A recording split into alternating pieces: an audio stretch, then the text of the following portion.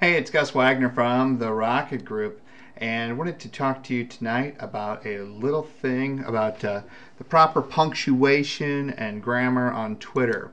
Uh, it's something that confuses a lot of people, and here's all of our uh, our Twitter page. As you can see, we've sent a bunch of tweets, uh, a lot of videos attached, etc. Um, but one thing that kind of confuses people is the at mention. Um, when you reply to somebody, let me back out of here for a second.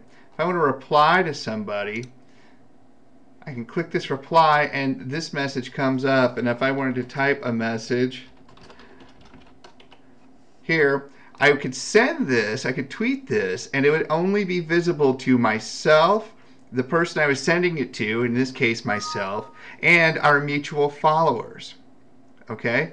So if you put the at Rocket Group to lead off, or at Coca Cola, at Chevrolet, at whatever, at Twitter, uh, if you lead the tweet off like that, it's only going to be seen by a limited number of folks.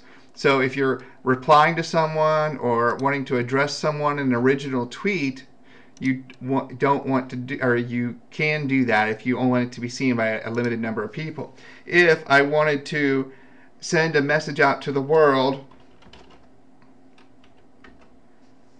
that I wanted everybody to see, I would put this period right here before that. And this allows the tweet to go out to the entire world. Now, all tweets are public unless you have your account settings uh, to private, which is weird because it's called social media, not hidden media. So you want to, um, uh, if you want this tweet to be seen by all followers, by all the people out there, uh, then you put this dot, the period, before the handle of at Rocket Group or at Coca-Cola, at Chevrolet, at whatever. So it's a common mistake. Um, it's something that uh, a lot of folks do, a lot of pros and veterans of Twitter still do wrong. But uh, that's uh, just it's just uh, something simple to do. So uh, I'm Gus Wagner. I'm at the Rocket Group.